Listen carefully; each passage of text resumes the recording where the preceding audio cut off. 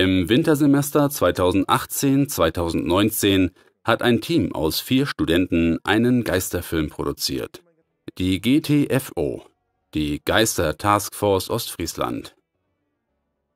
Es handelt sich dabei um eine Horrorkomödie, die sich im Stile des Found-Footage-Produktionsdogmas an den weltbekannten Geisterjägern aus den 80ern, den Ghostbusters, abarbeitet. Gezeigt wird eine scheinbar hinter den Kulissen spielende Handlung dieses Geisterjägerteams. Komödiantische Passagen und Gruseleffekte mischen sich hierbei untrennbar, ganz wie im Genre der Horrorkomödie. Horrorfilme aller Art entstehen ständig im Fach Produktion digitaler Medien im Studiengang Medientechnik an der Hochschule Emden-Leer.